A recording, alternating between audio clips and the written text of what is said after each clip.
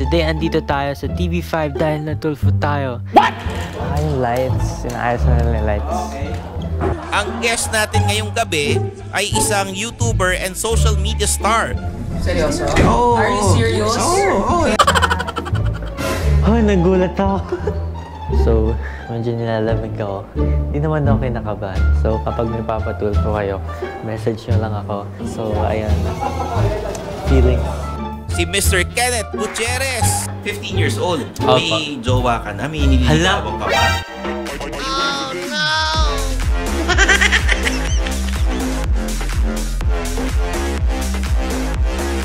Ito, ito yung- ito yung camera natin. Oh. Ayan, no?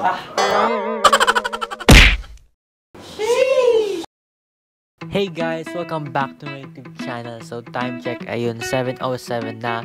And today, andito tayo sa TV5 dahil natulfo tayo. The joke lang. So, ayun nga, we're here sa waiting room and you guys can see a studios already sa labas. And we're here dahil mag-guesting tayo sa TV show na Feelings ng 1PH. And pumunta kami dito ng maaga kasi papakita ko sa inyo ang TV5 studio. So, mamaya I'm gonna tour you guys around and show you what's inside. And ayun, now we're just waiting and babalikan ko kayo later pag-ikot na kami. Bali, ang sa Studio 6 yan, ang umiere yung Julius and Tintin. Tapos sumunod po The Big Story. The big Tapos story. Manuals. Tapos ang pinakahuli doon na Chips. Okay po. Okay, so ayun guys. Uh, ikot na namin. Mag-hi po kayo sa video. Hi po kayo. So, papakita lang yung studio. Ito yung parang, ano po itong part po? Newsroom. Newsroom. Oh, newsroom. So, ay, kita nyo, malaki, malaki yung studio. And may mga workspaces dito. And ano po ulit yung in-area po? Ano po ulit yung in-area po ngayon? Ah, dito po sa kabila, dito. So muna, dito po muna tayo sa ano. Studio 6. Ay, face mask. Okay, wait lang. Okay lang.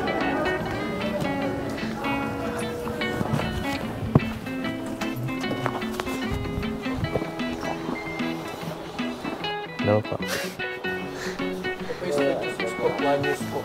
Wow. Para ano pang news? Wait. Po, dapat pakitingin lang. Tapos mayroon pang isang space na parang ano, ibang place. Ayan po yung sa and And kita yun guys, may tatlong camera. Parang sa CCTV yung camera. Robotic camera. Ah, okay po. Pic- Pwede po ba picture? Ah, picture lang.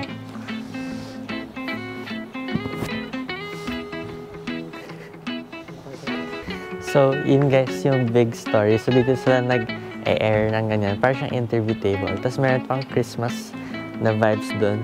Nakalagay Julius and Tintin. Yun yung isa. Tapos yung mga camera daw, parang siyang robotic camera. So, mukha siya si 4K. So, tatatlo ang camera nila. At yung camera na naka-air. Hi guys! Next studio. Anong number po yan? Number 5 po. Oh, Studio 5. So, ito yung Studio 6. So, ang alam ko guys is madami-dami daw ang studios here. So, pang iba-ibang show siya. Umiere naman po ngayon din sa ano, The Game Sports. Ah, sports. Okay. Ano, naka-air po ngayon? Opo. Ayun po. Ah, naka-air. Ah, ay, naka-airs lang. yan.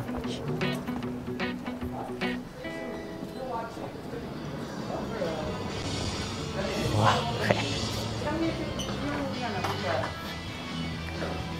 Hello po. Naka-vlog po ako. So, ayan guys, basketball ang in-air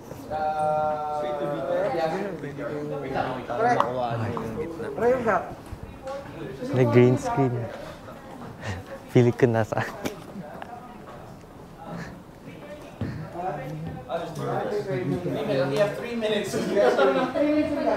Ah, naka-live. Naka-live pa lang.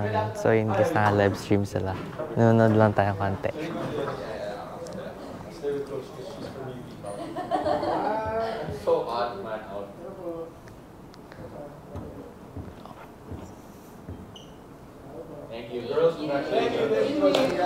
So dito sila nag-air ng, ano, naka-break ata sila ngayon. Chanel, what's next? We're still playing badminton after. 240. Mark's throwing so much. Nate, 9, 8, 7, 6, 5, 4, 3, 2, 1.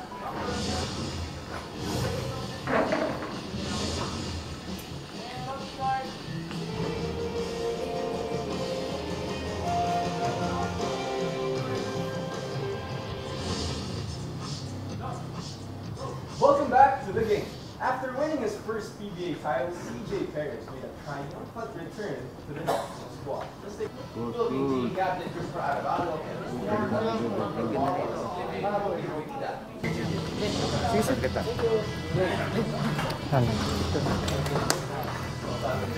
Hi.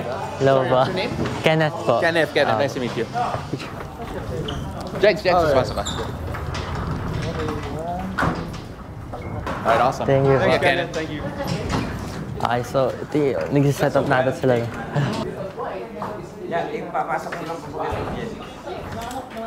Ah, yung lights. Sinaayos na nila yung lights. So, ayun guys, set up na sila ng, ng next lang show. So, hindi ko pa alam anong next na show, pero inaba na nila yung parang team. Hi po kayo sa vlog. Hello, wala Anong- akong salamin ngayon, pero Nakakita ka, naman- ka naman dun po. Oo. Anong time po tayo magsa-start po later? ah, magsimula tayo. Um, Papa-makeup muna kayo 8 o'clock, then 9 o'clock, ano tayo, taping. Okay Tape po. tas live. Okay, so enjoy kayo. Joke. mga manonood. May guest kang international singer si Bonnie Bailey.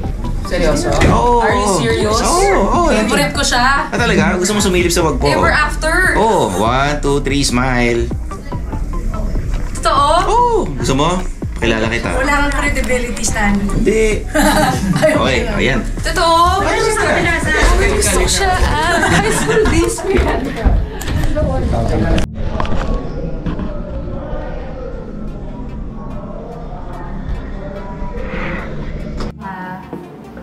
Oh, nagulat ako.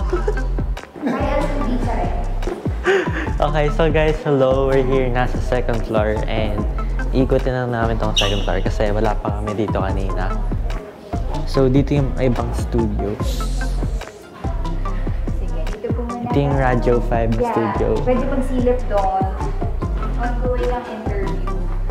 But, may access. Sige, stop. Stay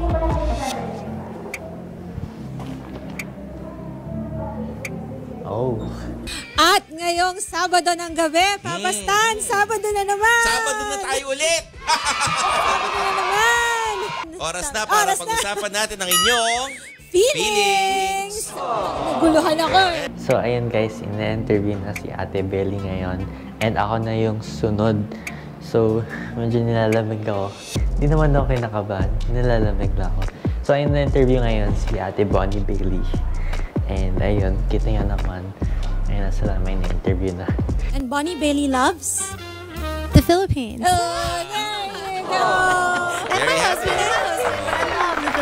So, ayun na din guys. Andito daw din ata nag ah, tutulfo.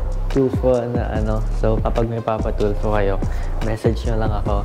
Tapos akong bahala sa inyo. Huwag mo nang ulitin yan, ha? Na joke lang. So, ayun, ay nintay na lang namin yung turn namin. So, yeah. So, ting parang editing room, a broadcasting room. Nahihiya ako bigla. And ikutin namin to. Saan po ulit tayo pupunta? Tapos sa inyo yung office ni Sir. Oh, wow. So, tinig natin yung office ni Rafi Topo. Shush! May papatulpo ako. Joke. oh, ito ni... Oh! Yun, no? Rafi Tulfo in action. Pre, kita niyo ba? Ayun? Rafi Tulfo in action. Wait, papakita ko na. Baka hindi mo makita. Eh, dito may lagay. Para mas kita. Ayun, no? Yun. Rafi Tulfo in action. So, ito yung room. Magnifier. Di makita madilim kasi guys. So dito siya, dito yung office niya. Kasi may, may laptop pa din. Ay, may, ano, may monitor. So, ma malaki itong, ano, itong place. Madami siyang studio. And kanina sa baba, may mga editing rooms din doon. Parang siyang ano, apartment. Parang bahay na nila. Kasi nakikita ko yung mga na, like, ano, nakasampay na clothes, ganun. Tapos may gamit lang. Tapos may bed pa. So, parang kapag editor ka ata, full-time editor. Kasi mag-edit. Parang full day ka mag-edit talaga. So, ayun guys, al papasok na kami next na kami guys. Alam yung music? So guys, ang ano ng show, ang name ng show is Feelings. So, ayun. Feelings. Ladies and gentlemen, Bonnie Bailey. Ayan po.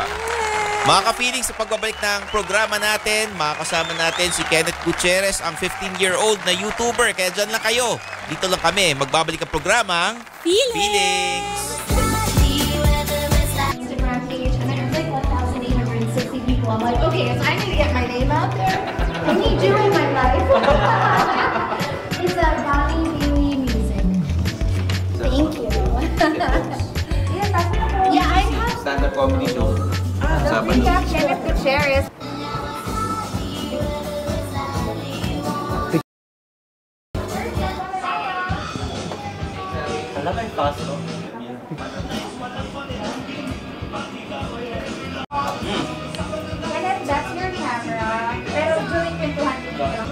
Lang sa kanila kwentuhan. Taglish is okay, Tagalog is okay. Ayan o, picture ka dito, tapos sabi mo na tumpo ko.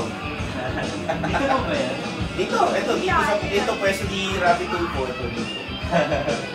Dito siya, oh. Easy Tapos click, ano, click. dito siya nag-ano, tapos parang nababasa niya yan. Okay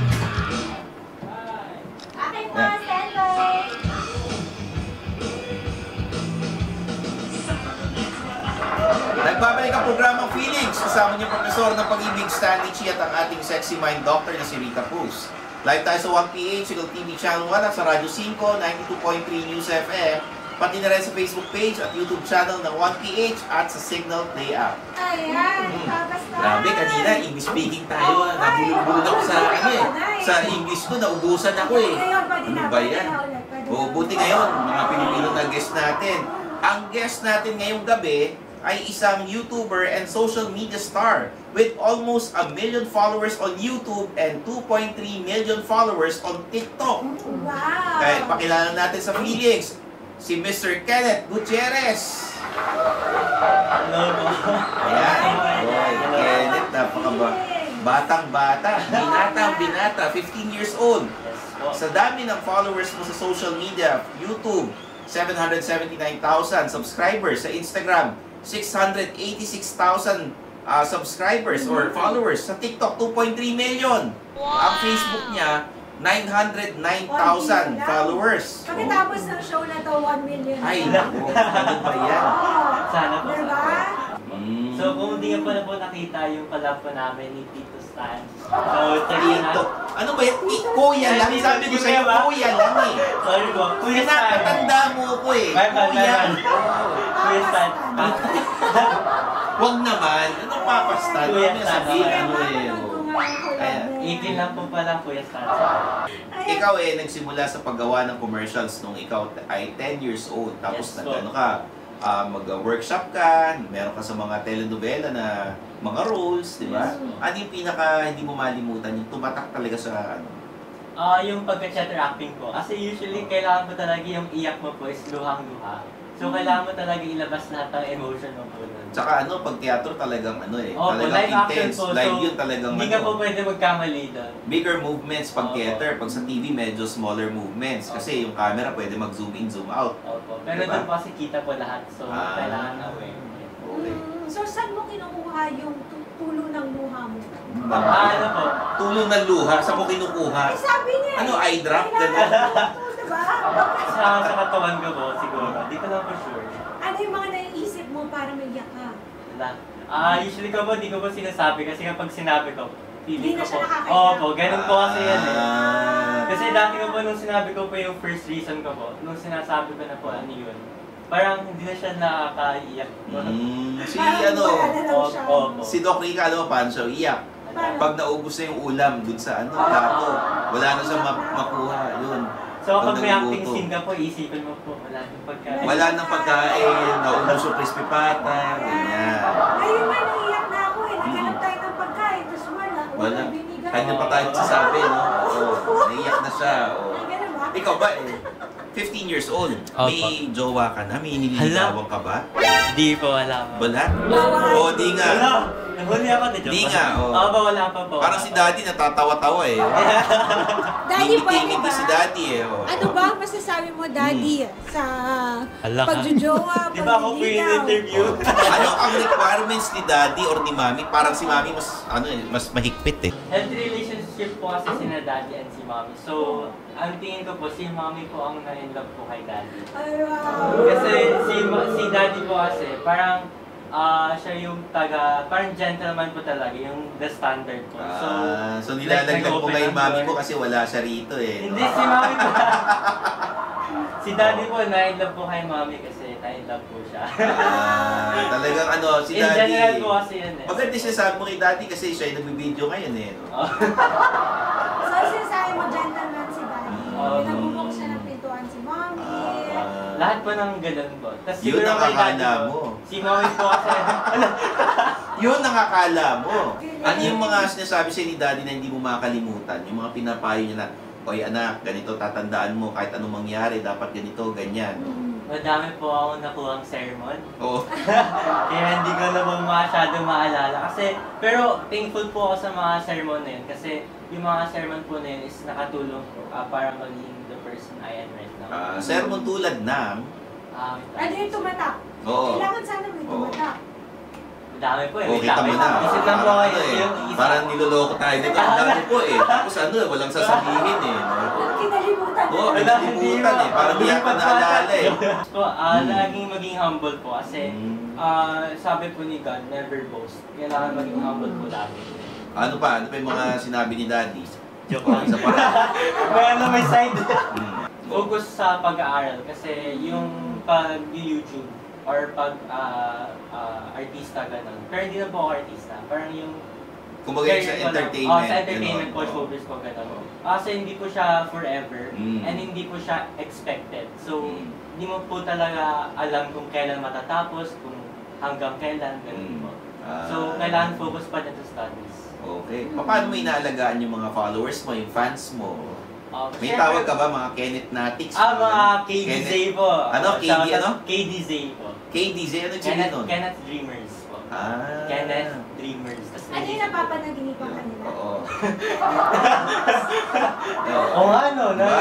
Kenneth Dreamers, so, di ba? O, ano, pa- paano sila inaalagaan? May mga fans day ka ba? May meet and greet? Opo. Ganun? Opo, meron po every usually ah, kapag may monsters po kami. So shoutout sa mga KDZ dyan. Thank you so much sa lahat ng support. Okay. And ayun na, naglagi po kami na meet and, and nag-meet na po kami dati, mga admins po. Tapos meron din po kami ng mga na-meet na fans. Tapos Mm. every monthsary po or anniversary po ng ano, ah, ng group, na ah, video call po kami. Parang group call. Ah, parang Zoom, ganyan. Oo, Oo. Google Meet po. Oo. Ayan. Ito, tuming- ito yung camera natin.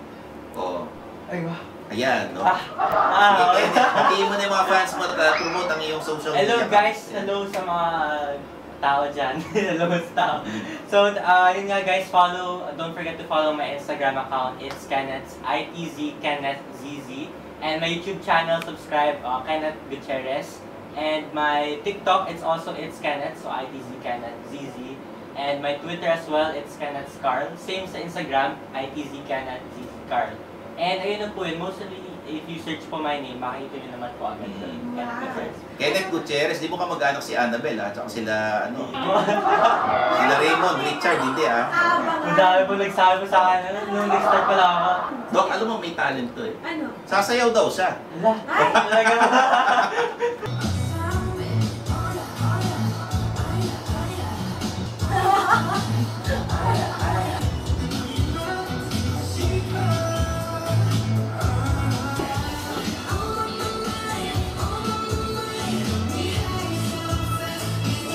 Yun.